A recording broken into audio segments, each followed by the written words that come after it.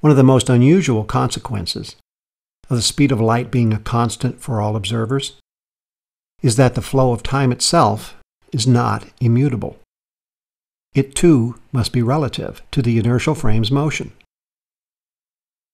Here's a good way to see why this must now be the case.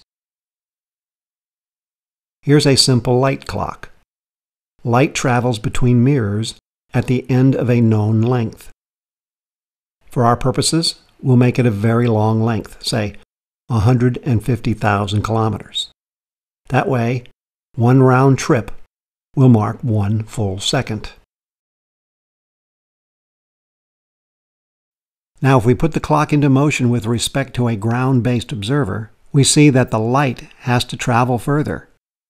And because its speed is constant, it will take longer. The moving light clock is therefore running slower than a stationary duplicate. This is called time dilation. It's the geometry of the situation that gives us the conversion factor. If I were on a 10 hour flight from LA to Paris, traveling at 800 kilometers per hour, I would lose just under a nanosecond. Way too small to notice. But for faster moving spacecraft, it can be quite significant and critically important.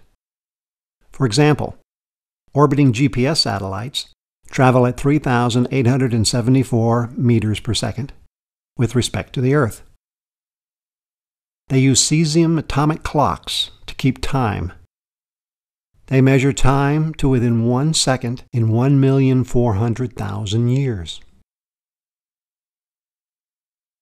But these onboard clocks lose 7,214 nanoseconds a day due to time dilation.